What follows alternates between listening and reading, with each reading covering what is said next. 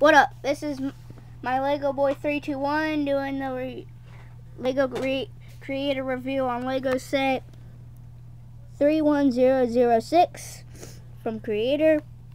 And this set retails for about 25 bucks, I'm pretty sure. And see, you get a cool little car here. It's a that's the one I'll be showing you is the main car. Yeah, here we go.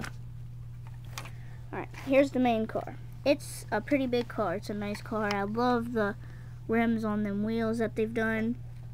It the front just looks awesome. I just love the front of it. it looks like really cool. You you get the like them scissor doors things. Here's the inside. Just a stand wheel, some seats. You cannot mini fit a minifig in. This is kind of just a decoration thing.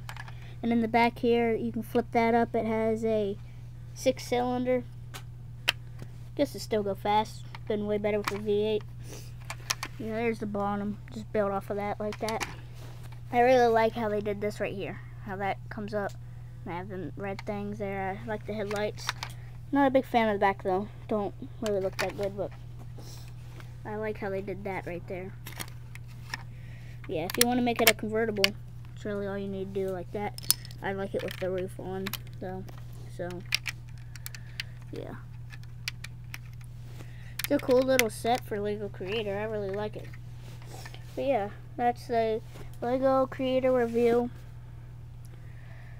of Lego set 31006. See ya.